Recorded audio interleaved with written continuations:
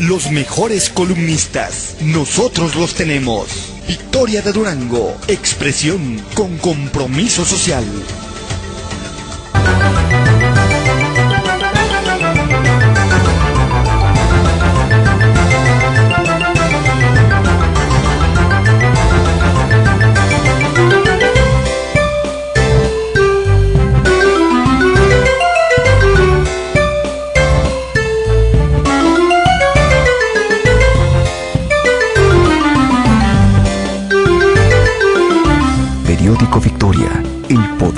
Palabra.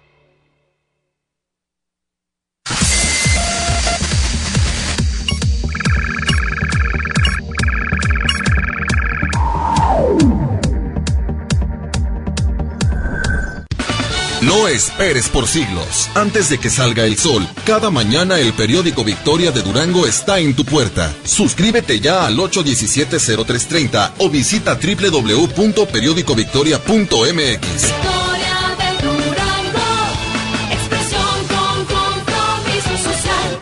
El mejor resumen del deporte duranguense lo encontrarás aquí. Análisis, crónicas, entrevistas y mucho más en Pasión en Directo. Lunes a las 6 de la tarde en Victoria TV, patrocinado por Serrano Sport.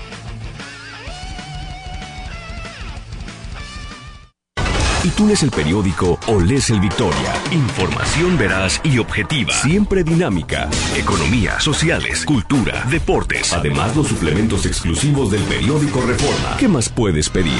Es el Victoria, mi periódico. Victoria de Durango. Expresión con compromiso social. Suscríbete ya. 817-0330.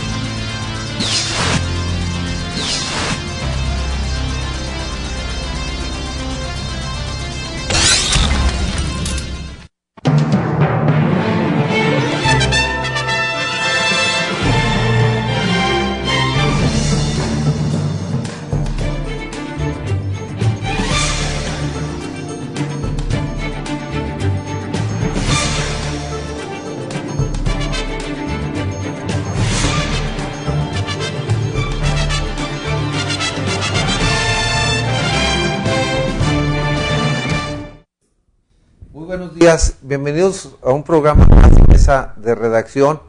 En esta ocasión vamos a hablar de un gremio eh, muy amplio, un gremio donde yo creo que todos de alguna forma hemos tenido una relación con un médico.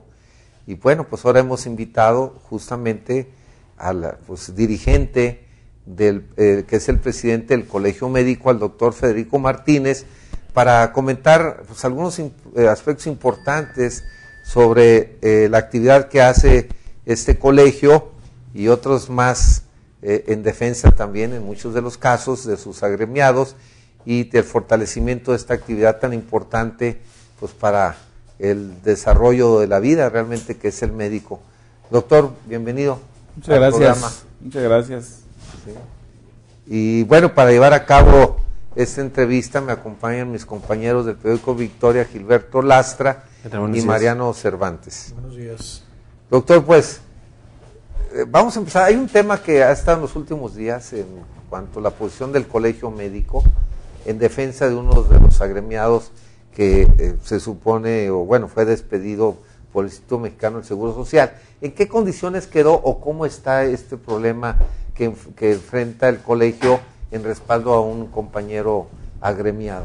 Sí, mira, en realidad no es a uno, es a 300, Ah. 300 demandas que existen contra el Instituto Mexicano del Seguro Social por reconocimiento de antigüedad. Entre ellos van muchos de los médicos afiliados al Colegio Médico de Durango. Que esto hizo crisis con el compañero Sixto porque lo despidieron. Es cierto, y fue donde nos, nos- a nosotros nos ponen la alerta y nos levanta a lanzarnos a las calles para defender, porque de ahí vienen todos los demás. De hecho, muchos de los compañeros se desistieron con el, ese terrorismo que hayan corrido a un compañero. Es- los demás se desistieron, muchos se desistieron. Unos 10 más o menos. tenemos, tenemos conocimiento de que unos 10 se desistieron.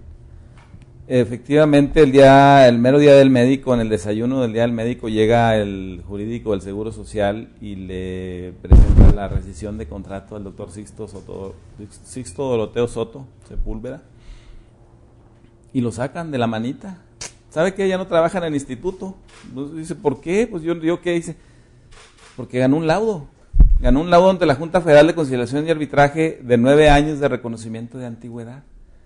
Una, una cantidad de años que uno no lo pide, que uno normalmente no hace el, la petición de años. Uno presenta la, la fecha de ingreso y la fecha que actualmente tienes todavía laborando, que estás activo. Y la Junta determina cuánto tiempo, de acuerdo a las pruebas que aporta la demandada y el actor. La demandada no se ha aplicado, el jurídico, yo siempre lo he dicho desde que empezó este problema, que el jurídico no se ha aplicado a hacer la investigación correspondiente a pesar de que tiene el expediente de cada trabajador, de todos sus diplomas, de todo su tiempo que ha elaborado en el instituto. No ha llegado a la Junta a decir, oiga, de esta fecha a esta fecha el doctor no trabajó. Evidentemente, si ellos demuestran que un mes no trabajó, la Junta va a decir, ¿sabe qué? No son nueve años de que usted ingresó a que usted ahorita está trabajando. Son ocho años y medio. Son ocho años, nueve meses. No, ellos no aportaron sus pruebas, perdieron su tiempo y sale la, el laudo con nueve años. O sea, desde la fecha que ingresó hasta la fecha que, que está actualmente activo. Oye, doctor, este, ¿y ¿por qué pensar que efectivamente esa puede ser la razón lo hubieran despedido, de que hubiera ganado un juicio por antigüedad, cuando hemos visto que a lo largo de los años trabajadores del Seguro Social demandan al instituto, les reconocen autoridad, hasta donde hemos percibido, a lo mejor estamos equivocados, sin mayor problema, sin mayor problema, el instituto les reconoce, bueno, sí, tiene tanto tiempo trabajado, no pasa nada, ahí está. ¿O en qué le puede afectar al, al instituto reconocer la antigüedad a un trabajador? Mire, eh, cuando ingresó este, eh, el licenciado Víctor Infante como delegado, se trajo una serie de gentes que yo creo que son las que lo han mal informado o lo han mal asesorado. ¿sí? Puso al frente del jurídico a la licenciada Ruth Medina, una licenciada que fue jefa de ministerios públicos, que tiene en cierta manera ese tipo de actuar. ¿Por qué es pensar que, que fue por el reconocimiento? Porque le llamaron. Le dijeron, doctor, usted ganó nueve años, pero no trabajó de tal fecha a tal fecha que hizo usted el servicio social, no lo hizo con nosotros. ¿Eso es cierto? El doctor es honesto, dijo, es cierto. Y aparte no trabajó continuo de tal fecha a tal fecha, porque cuando es uno suplente, hay semanas completas, hay meses completos, como hay meses que no se trabajan, de acuerdo a la temporada. Entonces, le dicen, ¿es cierto? Es cierto. Pero la Junta fue la que me lo reconoció. Yo no pedí, yo nomás dije, esta es mi fecha de ingreso y este es el tiempo que yo estoy aquí. ¿Sí? Ustedes no aportaron sus pruebas. Bueno, entonces usted mintió al Seguro Social, mintió a una, una- a una autoridad federal. Entonces, desístase para no poder nosotros no rescindirlo. Dice, no, pero yo cómo voy a desistir. O sea, a mí si, ni siquiera la Junta a mí me está citando para decirme eso. Ustedes, ¿por qué me citan ahora si se constituyen en tribunal fuera ya después de un laudo para decirme que estoy haciendo falta de probidad y honradez de acuerdo a la ley de responsabilidad de servidores públicos? Y de ahí es donde parte, si no se desiste, lo corremos. O lo despedimos o lo rescindimos el contrato. Y se rescindió. ¿Sí? El doctor sí se desistió, pero cuando ya habló con nosotros le dijimos, no, es que no te pueden, no, ya no te debes de desistir. Después de un laudo, ya no tienes por qué desistirte. O sea, prácticamente ya ganaste. Ellos perdieron su oportunidad, la tuvieron en todo tiempo. No lo hicieron, bueno, pues es su problema. No tienes por qué desistirte. Y ya es cuando él va a la junta y dice, siempre no, siempre no me desisto. ¿sí? Pero ya la rescisión ya se la habían dado. Sobre amenaza. Ya le habían dicho, si no se desiste, lo corremos. Y eso es lo que a nosotros, colegio médico, no estamos de acuerdo. O sea, sobre amenazas, nada, para empezar. Brincándonos la legalidad, nada. Ellos todavía tienen recursos, el amparo, el amparo directo. ¿Sí? Pues hagan uso. Si se les pasó el tiempo, pues no es problema de nosotros. Ahora, ¿en qué condición está ahorita actualmente? Eh, eh, eh, es decir, hablo de la actitud del colegio como gremio, ¿no? Eh, ¿Una medida de presión? ¿O van a esperar que eh, si procede el amparo? No, ¿Cuál es la ya, ya llegamos a un acuerdo. Afortunadamente, nosotros convocamos a una marcha este domingo pasado, Que la suspendimos porque llegamos a un acuerdo el sábado a mediodía con el, licenciado Víctor Infante, en presencia del el secretario de Gobernación, Víctor este, Miguel Ángel Olvera, en el que el instituto reinstala al doctor inmediatamente, ¿sí? reconoce su error que sí no tenía por qué haber amenazado y por qué haber despedido porque gana legalmente un laudo. Y ellos presentan su amparo directo y lo que resuelva el amparo directo es lo que va a, a reconocerse la antigüedad. Si el amparo ratifica el laudo de la primera instancia, nueve años, nueve años se le queda de antigüedad. O si dice que son ocho, se quedan ocho. Así es. Pero es lo que debe hacer desde el principio. Así es. Eso es lo que debían de haber hecho desde el principio. No tenían por qué haber amenazado ni por qué haber despedido al doctor, y menos de esa manera. Si, si no están de acuerdo con el laudo, lo, lo atacan y, y lo resuelva la autoridad. Así es. O sea, nosotros tenemos nuestros recursos nuevamente de ahí, a partir de ahí, sí. Y nosotros sabemos cómo hacerlo. Y los demás casos no hay más, hablaban de tres. Todos los demás que se desistieron, o sea, esos ya no tienen oportunidad. Afortunadamente se desisten de la instancia, no se desisten de la acción. ¿Sí? Tienen oportunidad de nuevamente hacer. Y dentro de los acuerdos que quedamos con el delegado, precisamente fue ese de que no tiene por qué haber terrorismo. O sea, la gente está en su derecho. ¿Sí? Ellos están en su obligación de aportar las pruebas necesarias para Sí, sí. desvirtuar todo lo que la gente pida. Sí, como un patrón. Y, y tienen los expedientes, pues de todos tienen los expedientes de nosotros desde las fechas de ingresos, de cuánto hemos trabajado, de cuánto no hemos trabajado, de qué somos, cómo lo hacemos. Entonces ya no va a haber ninguna acción en contra de nadie que tenga su demanda. Yo les comenté, si ustedes tienen ahí y administrativamente pueden reconocerle a una persona sin que haga pleito, pues háganlo Mejor. mejor. Ustedes se ahorran pleitos porque ese es el motivo, ¿no? Parece que hubo ahí un jalón de orejas porque había muchas demandas en Durango por reconocimiento de antigüedad. Y efectivamente sí, en años anteriores se dispararon porque no contestaba el instituto ninguna demanda. No las contestaba, así de sencillo.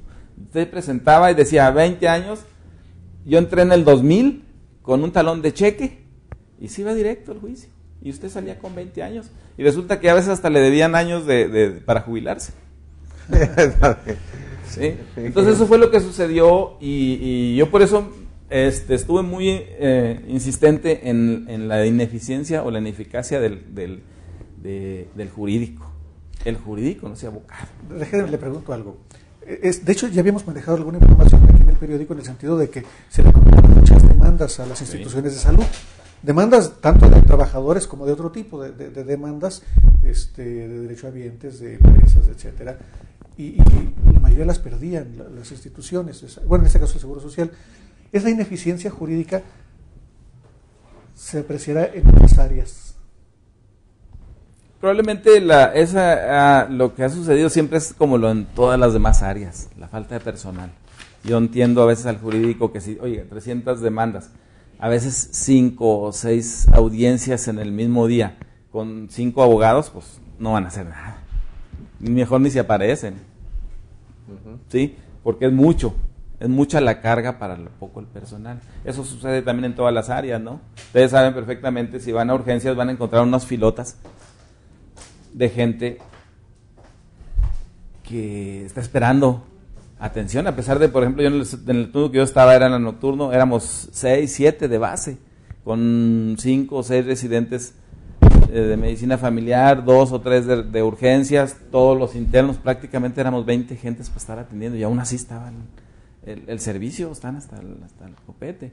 Se puede decir, bueno, falta, falta gente, no, en realidad no, falta espacio, pues a lo mejor sí, ¿Qué falta? Pues es que a veces hay que hay muchas cosas que tenemos que trabajar en la salud. Mucha gente usa el servicio de urgencias como consulta. Realmente de los 100, yo creo que 90 no son consultas, no son urgencias reales, son urgencias sentidas y 10 son unas urgencias reales. Más o menos en ese en ese en ese en esa cantidad anda. Entonces, toda esa demás gente que tiene ya tres días con su gripita, tres días con su coliquito menstrual, tres días con una semana con su, su, dolorcito de hombro, no ha ido a consulta porque también tiene que hacer filas, lo va a urgencias, pues nos satura el servicio. Aunque seamos 20, no damos abasto. Oiga, otra de las cosas es la cuestión legislativa. Ya habíamos hablado en algunas otras ocasiones sobre que eh, en el momento en el que se hace la legislación no se toma en cuenta el punto de vista de los médicos. Ahora, ¿qué tanto en el plano práctico afecta esta, esta relación que debe tener con las leyes eh, el colegio médico? ¿no? ¿O ya hay acercamientos con ellos? Todavía no. Sí, mire, en esta legislatura ya ha habido más acercamiento, en este gobierno ha habido más acercamiento. Pero eso que usted menciona es cierto, o sea, no hemos tenido, y esa es la causa de la mala planeación de los servicios de salud, que no nos han tomado en cuenta los que estamos en la operación. Hablando específicamente de, eh, por ejemplo, los hospitales. ¿Cuántos hospitales no se crearon en el sexenio anterior eh, aquí en Durango? En todas las cabeceras municipales. Pero alguien pensó en la cantidad de médicos que necesitaban. Nadie. Operación, ¿verdad? Y ahorita están solos. No hay médicos, o sea, no tenemos médicos. ¿sí? No tenemos eh, la capacidad de personal para cubrir todas esas plazas. Son muchísimas. Recordemos que son cinco turnos, mañana, tarde, noche, cada tercer día y sábado y domingo. Cubrir, por ejemplo, con ginecólogos en un hospital de esos, en el de Madero, en el de Victoria, en el del Salto, en el de Santiago, en el de Canatlán, en el de Nuevo Ideal, en el de... Estamos hablando de un mundo de gente, si los de aquí no tenemos el personal completo. O sea, cubrimos bien los turnos matutino, vespertino y a veces el nocturno, a medias. Hay un tema, doctor, de, de que eh, pues eh, la sociedad siempre se ha quejado a veces de los charlatanes, ¿no? Es, eh, los médicos que muchos que sin, ejercen sin título o que no es realmente su especialidad y bueno, hasta ungüentos mágicos, ¿no? Que ahora ya, ya la autoridad, afortunadamente la Procuraduría Federal del Consumidor está actuando un poco más drásticamente para evitar el engaño que se hace en este caso al consumidor y en el caso de los pacientes, eh, ustedes como gremio, eh, ¿qué han detectado el sentido? Eh, porque sí se habla que inclusive a veces médicos mismos eh, que, que están con su cédula y todo, pues eh, este, entran en otro tipo pues de actividades que no son su especialidad y también se vuelve hasta un engaño a veces, ¿no? Sí, de hecho, en Durango se tiene que dar mucho el pirateo, sobre todo en las cabeceras municipales, porque no hay lo que estamos hablando ahorita, la cantidad de especialistas. Por ejemplo, es muy frecuente que los médicos generales, los más viejos de esas cabeceras, hagan, ce- hagan cesáreas y hagan apéndices, Sí, sí, sí. sin ser cirujanos. Aunque es una práctica que tienen mucha experiencia, no son cirujanos y ante la ley no son cirujanos. Ese es el problema, ¿verdad? Aunque anteriormente salíamos como médico, cirujano y partero y a lo mejor eso nos salvaba. Pero ahora ya no, ya es licenciado en medicina. Ya es otro rollo y entonces ya ahora sí nos ponen aprietos. Pero sí, eso del pirateo en, en- la medicina siempre ha sido, ¿verdad? Hay mucha gente que se ha constituido en especialistas sin serlo. En ortopedia hacen reducciones sin serlo. Pero lo, eso no, no es tanto grave porque de una u otra manera, como médico general o como médico cirujano y partero que nosotros salimos, teníamos la capacidad para todo eso. Eh, participamos en, en, en 300, en 400 cesáreas durante el internado, durante el servicio. Entonces, muchas gentes inclusive nos dejaban hacer manitas para hacer uno frente de ellos el apéndice, para hacer cosas así. Y sale uno capacitado para los procedimientos menos complicados.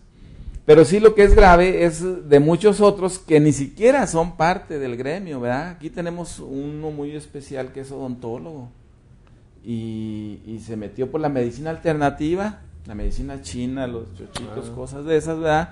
Y ahorita promete curaciones que no prometemos ni lo- los médicos que estamos específicamente en, una, en un tipo de enfermedad. Él, él si ustedes van y les va a decir, yo le quito la leucemia, le la quito la televisión. diabetes, sale en, la- en el Sí, radio, es. lo escucharon en el radio. sí. televisión lo he oído. Sí, Así es. ya, sí, sí. Sí, él le promete curar y, y curiosamente tiene más gente que los verdaderos especialistas. Sí, pues es que el, el ¿no? ¿Sí? Sí, su desesperación no lo hace diferenciar, ¿verdad?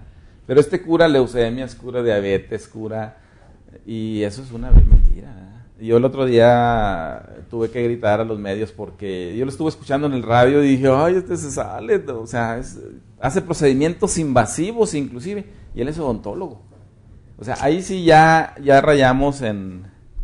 La eh, falta de ética, ¿no? Totalmente. Esa sería charlatanería. El pirateo, charlatanería 100%, ¿verdad? Sí, es cierto que la medicina china a lo mejor tiene sus, su- sus beneficios y todo, pero pues haga la- la medicina china y no prometa cosas que no pueden ser.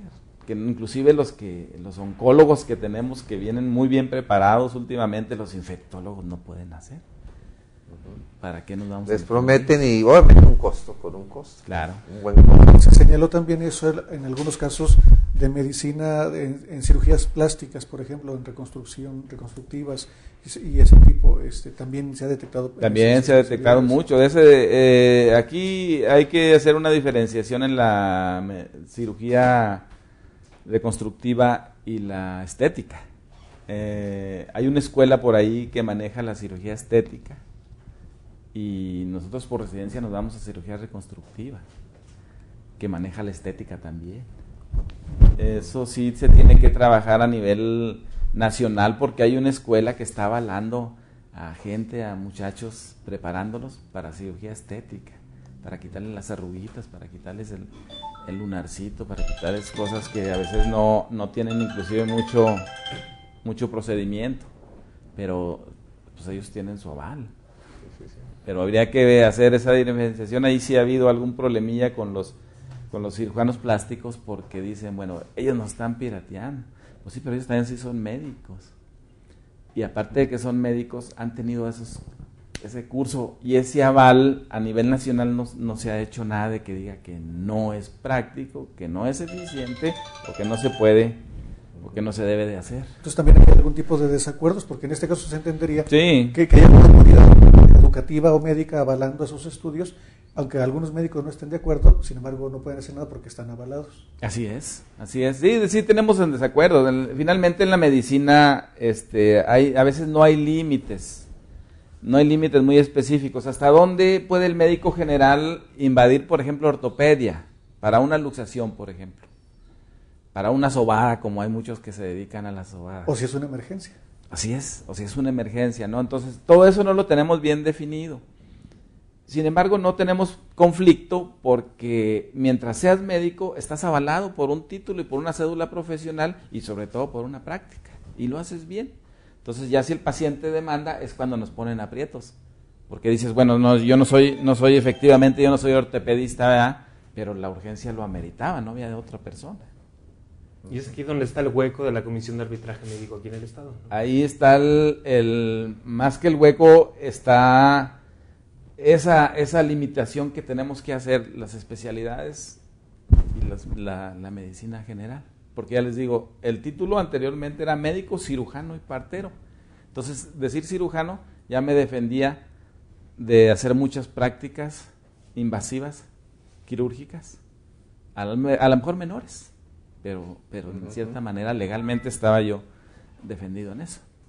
Ahora, la Comisión de Arbitraje Médico, Durango es de los pocos estados que no existe. Sí. Eh, el colegio médico está de acuerdo en la creación de esta comisión porque, bueno, se quejaban de que no los tomaban en cuenta, ¿no? Para, eh, iba avance y luego se regresaba.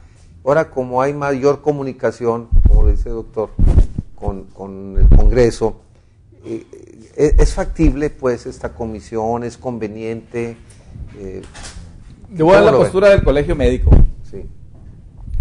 En aquel tiempo, cuando surgió la Comisión Nacional de Arbitraje Médico, uno de los abogados muy prestigiados, el Ignacio Burgoa, Sí. dijo, ¿y los doctores? ¿Dónde están? Y aquí sucedió lo mismo. ¿Sí? Cuando aprobaron en la legislatura anterior la Comisión Estatal de Arbitraje Médico, los médicos no estuvimos. Y los que estuvimos, porque sí tuvimos algunas reuniones previamente a que se metiera al Congreso, no se nos tomó en cuenta. Nosotros dimos nuestro punto de vista y, finalmente no hubo tal cosa. No nos, no nos tomaron en cuenta. Otro día salió en las noticias, eh, hasta en encabezado grande así, los médicos de acuerdo con la comisión. No es cierto. Nosotros nos pusimos en la postura de que no. Bien, y en realidad no estamos en contra totalmente. Estamos en contra de cómo se hizo, cómo se formó y parte de los estatutos que lleva. Porque eh, nosotros ya está aprobada ahorita, la aprobó la legislatura anterior. Efectivamente, somos tres nada más los estados que no la tenemos: Chihuahua, Durango y Zacatecas. Hasta hacemos un triángulo de vecinos. Y, dijo el comisionado nacional, eh, son los más grillos aquellos. No, no, más bien somos los que estamos analizando mal las cosas. Miren, nosotros desde aquel tiempo de cuando salió la, la Comisión Nacional de Arbitraje Médico, yo era el jurídico del doctor Eladio Martínez, él era el presidente del colegio médico y yo era su jurídico. Yo le dije, no, no estamos a favor de que sea Comisión Nacional de Arbitraje Médico. O sea, nosotros eso ya desde entrada los hacen inconstitucionales, o sea, no somos, somos un gremio muy especial, tan especial que hasta un tribunal exclusivo nos van a poner, no. Nosotros vamos a pelear porque nos la pongan Comisión Nacional de Arbitraje Profesional. O sea, ¿por qué nomás nosotros? Es cierto que nosotros estamos en pro la vida, derecho fundamental en la Constitución, pero los ingenieros sobre el patrimonio, los abogados sobre la libertad, o sea, los tres derechos son importantes, ¿por qué nosotros nos van a poner un tribunal? Bueno, en ese sentido de, de- los derechos, la hacen constitucional, ¿verdad? No nos hicieron caso, nunca nos han hecho caso, los demás estados todos la pusieron, nosotros ya cuando llegué yo a la presidencia, les dije, estos son mis cuatro puntos para que se ponga la comisión. Si no, nos vamos a echar a la calle o vamos a hacer todo para que no se ponga. Primero, Comisión Estatal de Arbitraje Profesional. Segundo, que no sea el secretario de salud el comisionado de la, Comisión Nacional de, de la Estatal de Arbitraje Médico. Tercero, que haya la responsabilidad institucional, que es la que nos está haciendo mucho errar los diagnósticos y fallar en los tratamientos. ¿sí? Y cuarto, que se pudiera incluir este que fuera exclusiva. Vamos, ya se creó la comisión estatal, la PGR que se abstenga de conocer de asuntos de demandas de pacientes contra médicos. La PGJ que se abstenga. ¿Sí? El civil que se abstenga y nos lo manden toda la comisión. Ya la comisión decidirá, sí, claro que no podemos brincarnos los códigos penales, si hay alguna lesión, si hay algún homicidio de, de- determinado, claro, adelante, que se vaya a la instancia que sea. Pero si primeramente llega a una instancia administrativa, judicial o civil, la demanda, que ellos se desistan de conocer y se vaya a la comisión, que la comisión determine, que la comisión haga un triage. Esos son los cuatro puntos que nosotros como colegio estamos pidiendo para que la comisión sea instalada. Estamos de acuerdo, pero en eso- con esas condiciones. condiciones. Muy bien. sí. Oiga, y a final de cuentas también eh, se debería legislar esta cuestión de las limitaciones profesionales para tener más claridad en el momento de aplicar eh, del- el- los procedimientos de- dentro de la comisión. Sí, sobre todo en los que hay conflicto. Sobre todo en los que hay conflicto. Mire, yo creo que con los cirujanos no tenemos conflicto, con los ortopedistas no tenemos conflicto. Con los que tenemos conflicto es con los cirujanos plásticos, ¿verdad? Porque esa, esa, esa, esa eh, subespecialidad o medio especialidad estética, así los está, los está lesionando mucho, indudablemente. Porque la gente eh, a veces prefiere eso de lo estético que le digas, te voy a hacer un cuerpo escultural y, y no corregir una cicatriz, por ejemplo. Es muy diferente la apreciación de la persona, del que lo solicita, pues. Dice, bueno, usted me va a hacer escultural y este me va a desaparecer una cicatriz. Entonces va mejor con este. Y curiosamente, si se dan cuenta, tienen más gente estos otros, que a veces sí son médicos, les digo. Hay algunos que no, claro que no, como en todas las especialidades, como en todas las carreras hay, hay piratas. Pero sí se tiene que hacer la, la delimitación para que no tengamos conflicto, porque lo estamos teniendo muy fuerte. Y porque ha habido casos también de una señora que tuvo perforación intestinal también, ¿no? que fue un caso bastante Sí. grave, ¿no? Sí, sí. Sí, sí, sí. Sí tenemos que delimitarlo definitivamente y sobre todo para que en las cuestiones ya cuando viene la demanda este se determine que sí era la especialidad que debía de haber intervenido. Que hay los errores y que hay las cuestiones propias de los procedimientos que nos pueden hacer errar, es otra cosa. Yo le quiero preguntar, ahorita mencionó usted que una de las condiciones que ponía el Colegio Médico para dar para adelante a la comisión era la responsabilidad institucional y agregó que una de las razones por las que a veces se erraban diagnósticos o se hacían eh, eh, algún tipo de falla tenía que ver con esa responsabilidad institucional. ¿A qué se refiere? ¿De qué se trata? ¿O en dónde está fallando esa parte? Mire, es, la responsabilidad institucional en ningún lado está establecida y a nosotros nos afecta mucho. Pero le voy a poner un ejemplo muy claro. Estábamos hablando anteriormente de las deficiencias o de las faltas de personal. A mí me llega, yo siempre fui de turnos nocturnos. A las 5 de la mañana me llega un sangrado de tubo digestivo grave. Yo necesito un endoscopista para que cauterice unas venas ahí en el estómago para que deje de sangrar. No lo hay. En ninguna institución lo hay a esa hora. Hay que subrogarlo. El subdirector se encarga de conseguirlo. Todo ese tiempo, el paciente no me va a esperar a estar sangrando el tiempo que quieran. Ahora, si se consigue, si no se consigue. Bueno, esa es una deficiencia de una institución. ¿Sí? Debe de haber el personal capacitado suficiente y el material. para que suceda eso. Yo al momento que yo como médico de, de- de encargado de urgencias me llega un sangrado tubo digestivo, yo hago mi nota, le pongo necesito un endoscopista para que cauterice la, la- la vena esofágica que está sangrando, inmediatamente debe ser como cuando solicita uno una radiografía o una tomografía. Ahora, tomografía no tenemos en la noche, resonancia pues menos. Todas esas cosas, esa, ya cuando a mí me llega la denuncia, a mí como médico me llega, dice, ¿se te murió? Pues sí, pero yo, ¿qué podía hacer? Yo no tenía nada que hacer. ¿Sí? Era institucional lo que tenía que haberse movido inmediatamente, rápido. Que hay cuestiones que endoscopistas no tenemos mucho en Durango también. ¿Sí? Y que aparte el, endoscopio, muchos de ellos los tienen y muchos de ellos lo usan el de la institución y muchas instituciones no la tienen. O sea, esas son las, la responsabilidad que nosotros queremos que se incluya en la comisión de arbitraje médico si es que se pone. Porque todo eso nosotros nos hace, el paciente me ve a mí como médico y dice, tú te lo echaste, tú lo mataste. Y en la demanda va contra mí. Y el instituto ni siquiera se mete para decir, oye, espérame, ¿no? El instituto toma, asume su responsabilidad. Estamos de acuerdo y creo que la mayoría coincidimos en que en Durango tenemos excelentes médicos. Hay, hay- hay un centro nacional en la medicina de primer nivel, pero por esto que usted me dice parece como que el servicio se ve limitado, como que las posibilidades de esos profesionales están amarrados de las manos en muchas ocasiones y que entonces la atención médica que recibimos los duranguenses no está al nivel de la capacidad, ¿no? es decir, que no está de buen nivel. Sí, mire, sí tenemos muy buen nivel, tanto que no tenemos que mandar muchos pacientes fuera de aquí para procedimientos especiales. ¿sí? Eh, a nivel, por ejemplo, especialidad de cardiología, especialidad de oncología, no hay pacientes que tengan que salir de Durango, excepto de que ellos quieran, ¿verdad? Pero, pe- pero por necesidad, no no hay necesidad de mandarlos a- ni a Monterrey, ni a Guadalajara, ni a México para que sean atendidos. Sí tenemos esa capacidad. Y yo se las demostré ahora en, en junio. Nosotros hicimos un curso en mayo, de mayo a agosto. Tres meses duró el curso para capacitar a compañeros médicos generales para presentar el examen nacional de residencias. ¿sí? De esos tuvimos 20 alumnos nada más. De esos 20 alumnos pasaron 11. Se quedaron en residencia finalmente 5. Habla de un...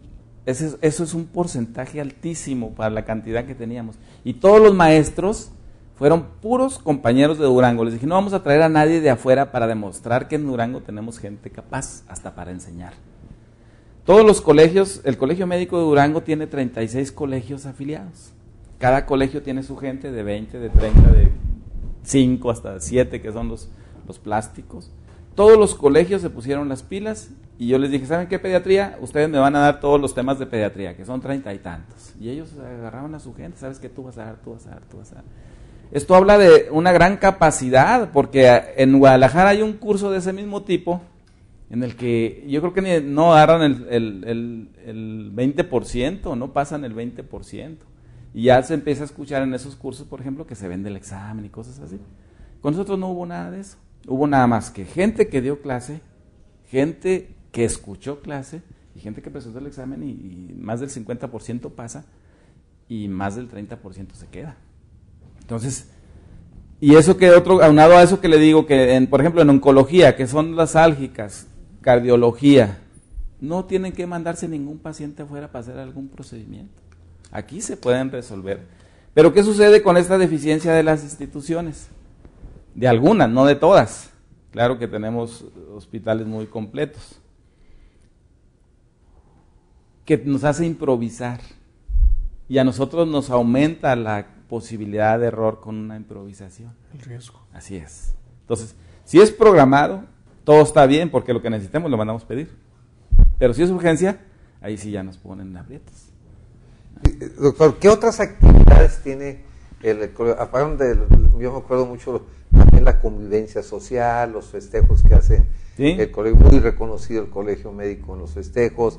¿Qué actividad más tiene el colegio en ese sentido? Se supone que el colegio la finalidad es eh, primero de capacitación a- hacia el interior de todas sus especialidades. Nosotros actualmente se las dejamos a cada especialidad. Ellos hacen su congreso y traen a todos sus, sus especialistas de donde quieren, de internacionales o nacionales. Los congresos normalmente ahorita son excelentes en Durango porque traen gente muy capacitada, muy capaz y aquí hay gente muy interesada en recibir ese tipo de, información. Ese es el- el primer, el primer objetivo que tiene el colegio. El segundo es de defensa, de defendernos como gremio, de estar pendientes como gremio a estas cosas, por ejemplo, a, estos ataques de, de- que no hay gente eh, especializada para atender, de que no nos atienden, de que no nos de las demandas ahorita que están esto en boga, de esto de la comisión, o sea, el colegio son todas sus funciones, tiene que estar pendiente de esto de los charlatanes, de todo tenemos que estar al día porque no queremos que nuestro gremio se vea lesionado con cosas que no nos corresponden. Muy bien. Y además, otra de las cosas es, ahora, ¿qué tanto hay de gente que va afuera a, a capacitarse fuera y a dar conferencias? y a, Porque sí, la, la, la carrera de medicina en Durango sí es reconocida a nivel nacional. Sí, sí es muy reconocida a nivel nacional e internacional. Tenemos gente que va inclusive a operar en Estados Unidos, de aquí de Durango, y que van a hacer procedimientos. Yo creo que, eh, y fíjate que no, no tienen a veces mucho reconocimiento esos compañeros médicos que a nivel internacional participan en investigaciones, como son los infectólogos, ellos todos participan en, en investigaciones internacionales y nadie lo sabe. Hay compañeros oncólogos que van a operar hasta, hasta Estados Unidos. Hay, ha habido pacientes eh, eh, de aquí que no quieren que los operen aquí y se van allá y se encuentran al mismo El médico. mismo médico lo manda. Sí, al mismo doctor. Eso ha sucedido en, en muchas ocasiones. Porque sí tenemos gente muy capacitada y yo, yo creo que finalmente, aunque se le ha hecho un gran esfuerzo al, a las instituciones a que estemos completos con insumos, con el personal suficiente, con la especialidad al- a los ayudantes, a las enfermeras, por ejemplo, ya tenemos quirúrgicas, pediátricas, eh, terapistas, ya tenemos de todo, aunque se ha hecho un gran esfuerzo, no ha sido el suficiente por parte de las instituciones para que se hagan, por ejemplo, ya trasplantes aquí. Sí se hacen, ¿verdad? Pero ustedes escuchan uno por allá cada, cada avenida de obispo, como luego dicen. Pero eso debía de ser ya una rutina diaria. Pero ¿qué pasa? Pues no tenemos suficientes enfermeras para ese trabajo. No tenemos suficientes quirófanos para ese trabajo y suficientes terapias para ese trabajo.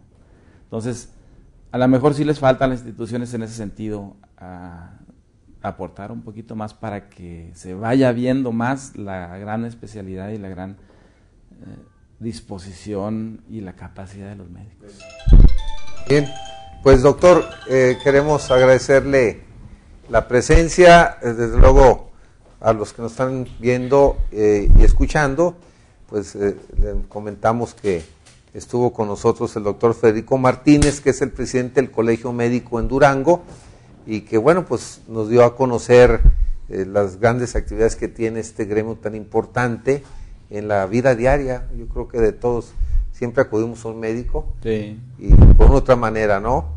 Dicen que el, el médico tiene una gran presencia en la sociedad y es cierto porque pues siempre acudimos con, un médico por otra circunstancia. Y agradecerle doctor su presencia aquí en las instalaciones periódico Victoria. Y bueno vamos a seguir de, una u otra manera las actividades del colegio que viene a unificar porque es claro un- le, le doy un cambio doctor este realmente de personalidad al, al colegio. Se percibe un colegio más unido, más fuerte, y eso yo creo que nos beneficia a todos. Nuevamente, muchas gracias. No, gracias a ustedes. Sí tenemos que ser más participativos eh, como médicos, como colegio, como con la sociedad, con la salud de la sociedad. Y sí, efectivamente lo que usted dice, lo primero que ve una persona cuando nace es un médico y lo último que ve es un médico. Sí, bueno, esperemos que, que, que los veamos, pero este no tanto para consulta. ¿eh? Entonces, pero muchas gracias y lo esperamos la próxima A semana. sus órdenes. Esta fue una producción de Victoria Editores SADCB. Para mayor información, visita nuestro sitio web www.periodicovictoria.com.mx o consulta nuestra edición impresa. Bienvenidos a los podcasts del periódico Victoria de Durango. Información local. Luego de que este medio exhibiera los trabajos aparentemente de mala calidad y con documentos en la mano que se hacen de rehabilitación en la supercarretera Durango-Mazatlán, el organismo responsable como Caminos y Puentes Federales dio respuesta a dicho señalamiento. En una entrevista exclusiva con el delegado regional de Capufe, el contador público Tito García Herbert dijo que tuvieron conocimiento sobre el tema, el cual fue publicado por este medio de comunicación. Sin embargo, la respuesta inmediata fue en el sentido de que garantizaran que los trabajos de rehabilitación sean de buena calidad. Al ser cuestionado en torno a la posible mala calidad, pues los trabajos están a la vista de todos, Tito García Herbert dijo que Capufe se compromete a que las obras a entregar sean las mejores. La modernización de la avenida 20 de noviembre lleva un avance global del 35%, confirmaron el gobernador Jorge Herrera Caldera y el alcalde Esteban Villegas al realizar un recorrido de supervisión por esta obra que es respaldada por el presidente Enrique Peña Nieto. El rescate integral de esta importante vialidad transformará el entorno urbano con mejores oportunidades para el desarrollo comercial, turístico y la generación de empleos, explicó el mandatario estatal. Laguna. El Frente Nacional de Productores y Consumidores de Leche inició en Lerdo la denuncia pública de la venta de leche adulterada en establecimientos comerciales de todo el país, ante la complacencia de las dependencias encargadas de regular la calidad y su venta. Repartirán folletos a las afueras de centros comerciales y establecimientos donde se expende como producto lácteo y alimento lácteo combinado que no es leche de vaca y se engaña a la población en general. En conferencia de prensa celebrada en esta ciudad, el presidente del organismo Álvaro González Muñoz, Antonio Salim Saldívar y Conrado Antunes Ponce lanzaron la alarma porque dijeron que en estos momentos los centros comerciales con marcas patito propias acaparan el 60% del mercado nacional pero están engañando a la gente. El secretario de Educación en Durango, Héctor Vela, estuvo ayer en Gómez Palacio para poner fin al paro de labores, que por espacio de más de una semana mantuvieron maestros de la sección 44 del Sindicato Nacional de Trabajadores de la Educación para exigir el pago a maestros de escuelas de tiempo completo e interinatos. Previo a la reunión con dichos maestros que la mañana de este martes tomaron las instalaciones de la Subsecretaría de Educación en demanda a una respuesta concreta, el funcionario estatal dijo que el conflicto está prácticamente finiquitado y que los maestros y alumnos regresarán a las aulas a más tardar este día, en tanto que los días que no se elaboró serán repuestos los sábados para cumplir con lo que marca el calendario escolar. Seguridad. Mortales fueron las lesiones que sufrió el jalisciense Martín Milán Hernández de 44 años, quien conducía una camioneta y se volcó en la carretera a México, mientras que su acompañante, Juan Antonio García, de 25 años, resultaba lesionado y más tarde era ingresado al Hospital General 450. El accidente se registró como a las 8 y media de ayer martes, a la altura del kilómetro 265.5 de la carretera federal Durango, México. El lesionado fue trasladado por paramédicos de la Cruz Roja a la sala de urgencia del Hospital General 450 de esta ciudad capital, pero no trascendieron el tipo de lesiones y la gravedad de estas. A buen recaudo se encontraba ayer el que dijo llamarse Jaime Otoniel Arriola Franco de 28 años, uno de los asesinos de Miguel Medrano Ábalos, a quien le debían 3 mil pesos desde hace 5 años y lo asesinaron a cuchilladas el 2 de octubre pasado y lo metieron a un vehículo que apareció estacionado al día siguiente en la calle 5 del fraccionamiento Bosques del Valle. El agente del Ministerio Público que se encontraba de turno se presentó con su equipo de trabajo en el lugar del macabro hallazgo e inició la averiguación previa, mientras que los agentes de la DEI comenzaron sus primeras pesquisas que dieron como resultado el arresto de Juan Otoniel Arriola Franco en una de las calles de la colonia Jardines de San Antonio. Este dio santo y seña del otro homicida que logró darse a la fuga, pero las autoridades confían que próximamente lo tendrán arrestado. Información nacional. Ante 20 líderes de las naciones del Foro de Cooperación Económica Asia-Pacífico, el presidente Enrique Peña Nieto resaltó que México tiene ambiente propicio para las inversiones y cuenta con talento joven y capacitado clave para el desarrollo económico, el cual no dudó en llamarlo capital humano de clase mundial. En su tercera intervención dentro de la cumbre de líderes económicas de APEC, la tarde del martes, hora en China, madrugada en México, Peña ponderó las reformas legislativas en materia económica que consolidarán, dijo, un entorno propicio para la innovación en condiciones competitivas para la inversión con proyectos productivos y apertura comercial. El equipo argentino de antropología forense que trabaja en la identificación de los cuerpos encontrados en Guerrero informó que hasta el momento no hay relación genética entre los restos recuperados en Cocula Iguala, informó que hasta el momento no hay relación genética entre los restos recuperados en Cocula, Iguala y La Parota con los 43 normalistas desaparecidos. En síntesis, hasta el momento no han habido identificaciones entre los restos recuperados en las tres localidades mencionadas y los 43 normalistas. El equipo ha obtenido resultados genéticos del laboratorio The Bolt Technology Group, ubicado en Estados Unidos, sobre 24 de 30 restos recuperados en Cierro Viejo. Ninguno de estos mostró probabilidad de parentesco biológico con los 43 normalistas. Información deportiva. Información deportiva. Miguel Herrera quiere darle una alegría a la afición mexicana. Tras el trago amargo de la eliminación del Mundial de Brasil 2014 a manos de Holanda, rival de este miércoles, el Piojo espera demostrar que el Tri tiene con qué pelearle a la Orange. A eso venimos, a ganar, a hacer un buen partido, dejar claro que México está listo para enfrentar a estos rivales y ganar. Sería algo grato para nuestra afición, pero no es revancha, declaró Herrera en Ámsterdam. El equipo de baloncesto de los niños Triquis convivió ayer por la tarde con el equipo Rockets de Houston de la NBA en la Arena Ciudad de México, en donde recibieron algunos consejos sobre cómo desplazarse en la duela y para los encestes. Jugadores de Rockets se quedaron después de la práctica para la convivencia y la clínica con los niños. Por su parte, el coach del equipo de básquetbol de los niños Triquis, Sergio Zúñiga, aseguró que su sueño y su trabajo con estos menores no terminará hasta que vea que la mayoría de ellos se gradúan y acaban una Esta fue una producción de Victoria Editores SADCB. Para mayor información, visita nuestro sitio web www.periodicovictoria.mx o consulta nuestra edición impresa.